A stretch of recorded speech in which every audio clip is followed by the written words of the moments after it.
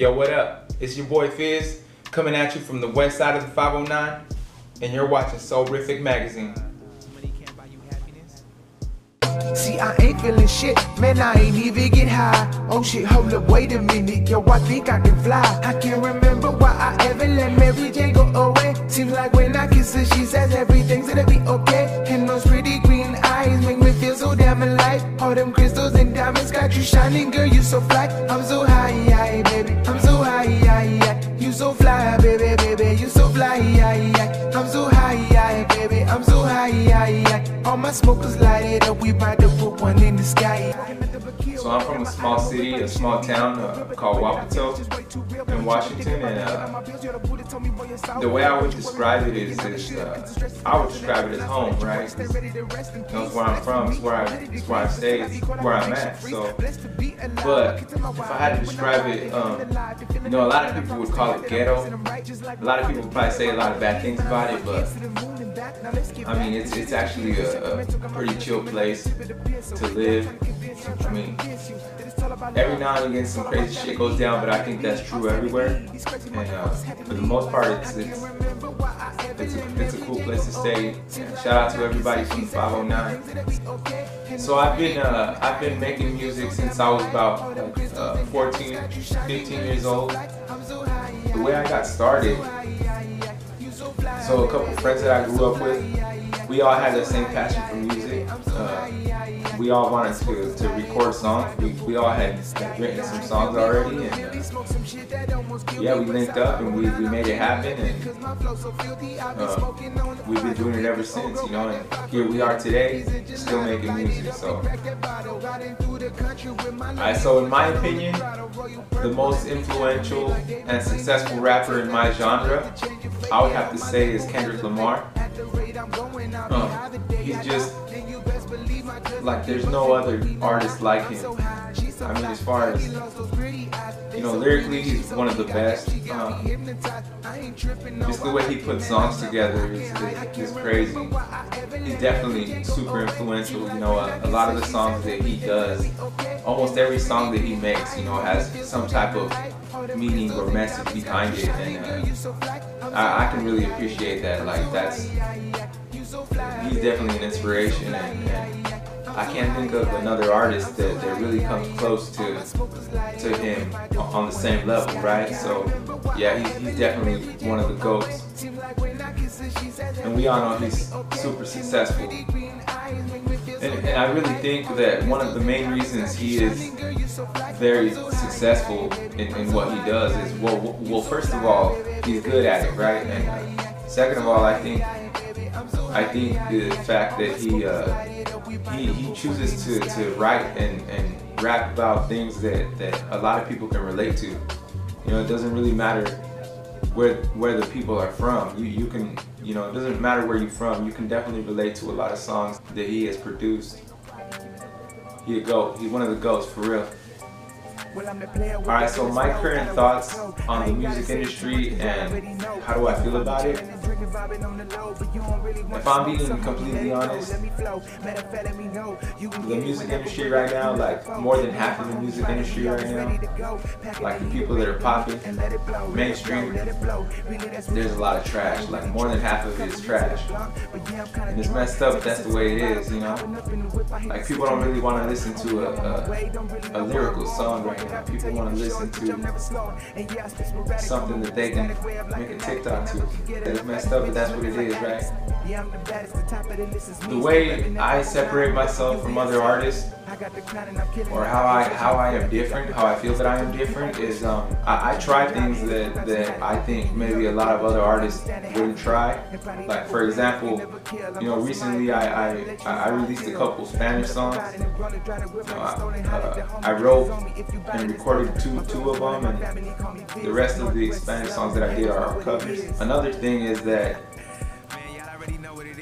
I really try to create songs that, that mean something.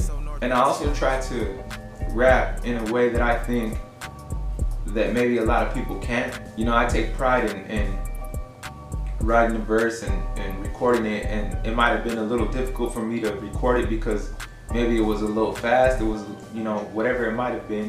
Who influenced my style? there's a lot of a lot of artists that, that I've listened to over the years and a lot of really really good ones like for for for sure I can say you know Ludacris was a big inspiration and, and a big uh, influence in my my rap especially when I first started. And uh, definitely Bone Thugs and Harmony man. Like man I, I was first time I heard Bone Thugs it was just like blew my mind you know? Like I just was like nobody else sounds like this or is doing this. And the people that were trying to do that and, and duplicate that were not successful, you know, because it was just their own thing, you know. And uh, I was so influenced by them that well actually me and my homies were so influenced by them that we, we all grew out our hair you know? We braided up pick it out on the first of the month and we were we were really living that that thuggish ruggish life for real. So they influenced me big time you know they kind of you know Bone Thugs and Harmony kind of put that that that that want to rap fast in me you know and uh, yeah big shout out to Krayzie Layzie Bizzy Wishing Flesh for sure but that's just, you know, to name a few. Um, there's too many, there's too many to name. So something about music that, that really excites me is, is just the, the process of, of, of making the song, right? Um, you know, from writing the song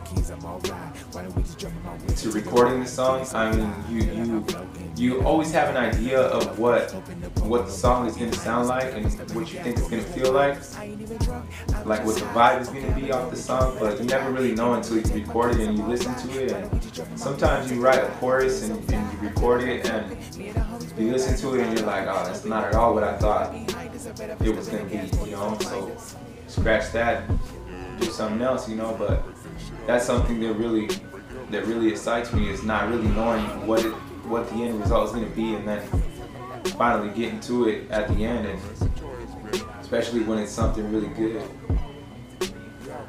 and and I would say the thing about making music that, that least excites me, I would say you know going back to um, like the current state of, of, of music.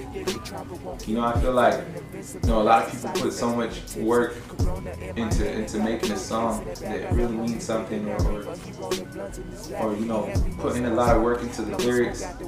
You know, and, and and that's not really something like I said before. That's not really something that people want to that a lot of people want to hear right now. You know, and unfortunately, you know, so that's something that kind of discourages me a little bit. But but nevertheless, I mean, I'm not gonna stop doing what I'm doing. I ain't gonna change who I am. I, I ain't gonna switch up for sure, you know. But it's definitely something that, that, that I definitely think is, is discouraging for sure. But like I said, you know, I'm gonna keep doing what I'm doing. Okay, so what was the inspiration behind one of my one of my recent songs, "So Fly"? Um, with that song, you know, we, we released a, a video to that. Shout out to my little brother Weston, he recorded that.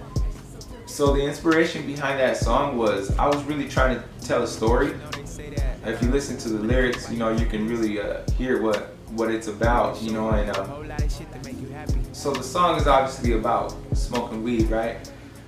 And and and not only smoking weed, but but but the vibe, the, the feeling, and that's that's what the inspiration was for the song. But but I really wanted to make it I really wanted to tell a story with that song. And, and if you check it out, you, you, you can definitely hear what the story is, you know. The whole idea behind it is that, you know, I quit doing this and then I got back to it and I'm thinking like, why did I ever stop doing this, you know, in the moment of, it all. So it's a dope song. Um, y'all need to check it out. If I could describe my fans in one word, what would it be and why? I would have to say the one word I would use is like true or, or real, right? Because the reason I choose either of those words is because I feel like the people that listen to my music, they're listening to it because they like, you know, maybe the lyrics that I'm writing or, or the way that I'm rapping or whatever it is, but I feel like there's some real ass, I feel like it's some real ass people that listen to my music, you know, and, and they're relating to my music because they are real. So that's that's the word that I would choose is real. Shout out to all the people that listen to my music, man. I appreciate you for real. So if I could choose any artist to work with in the future, I would choose Kendrick Lamar. Like I was talking about earlier, you know, I mean, he's, he's I, I feel like, I feel like if I got a chance to work with somebody of that, uh, with his skill, you know, whether it was, I mean, like J. Cole, JID, uh, you know, somebody that, that, that I really feel is, is, is really, really have, they've really mastered the craft. I feel like, you know, getting to do a song with them would, would bring out the best in anybody.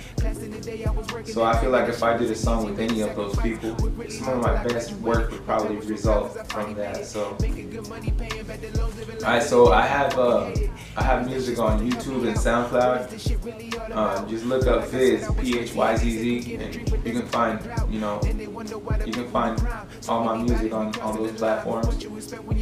Got some videos on there as well. And I got some new music coming soon for sure. But definitely, I'm gonna keep them coming. You know, definitely keep some. I'll definitely keep some uh, Spanish songs coming as well.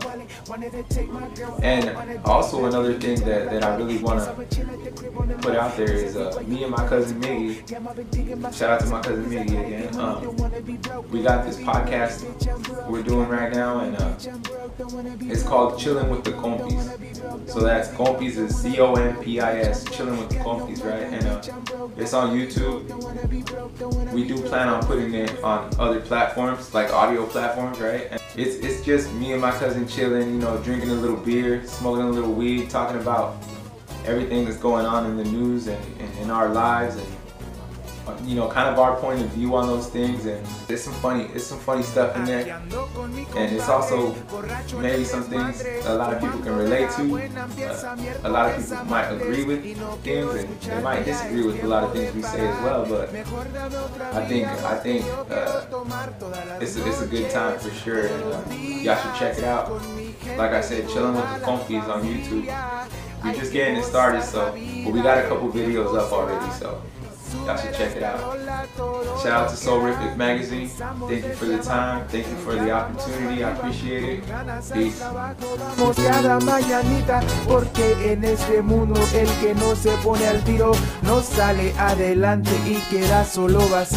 Este yo no soy de la gente que siempre sigue perdiendo. Como me dijo mi padre, ocupa seguirte moviendo. Es que nadie quiere darte nada gratis en la vida. Pronto quedas en la calle a ver si así se te quita.